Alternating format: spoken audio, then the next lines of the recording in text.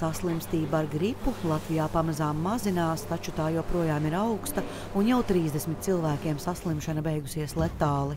Esam saņēmuši informāciju par 30 nāves gadījumiem.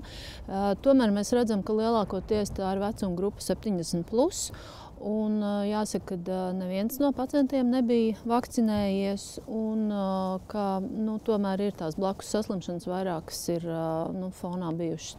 Tas, tas arī tāds jāņem vērā fakts. Visi šie pacienti slimnīcā ievestie ar smagām komplikācijām bija atkarīgi no papildus skābekļa padeves. Gripas pacienti, faktiski, kas iestājās slimnīcā, ir vai nu 5, 6, 7 slimības diena, kad citādi veselam cilvēkam lielākoties gripa jau ir pārgājusi un ir atlieku parādības, varbūt klepas palicis. Bet mums ieveda smagus pacientus ar izteiktu plaušu bojājumu, ar apusējām pneimonijām un kronisko slimību pārsinājumiem.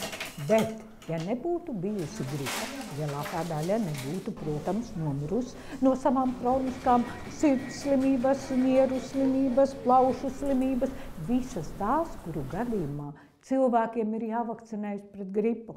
Tās visas ir novēršamas nāves. Un tas man arī kā ārstam eh, un mums visiem infektologiem ārkārtīgi sāp.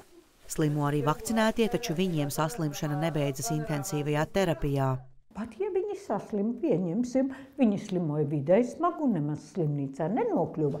Pagaidām drošības pasākumi slimnīcās nav atcelti, pacientus ļauj apmeklēt tikai īpašos gadījumos.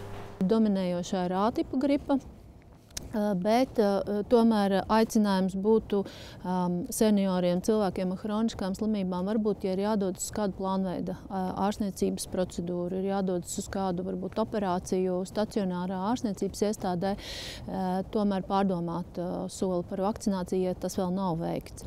Šonadēļ, kad skolēni ir nevis klasēs, bet devušies pavasara brīvlaikā, mazināsies gados jauno cilvēku saslimstība.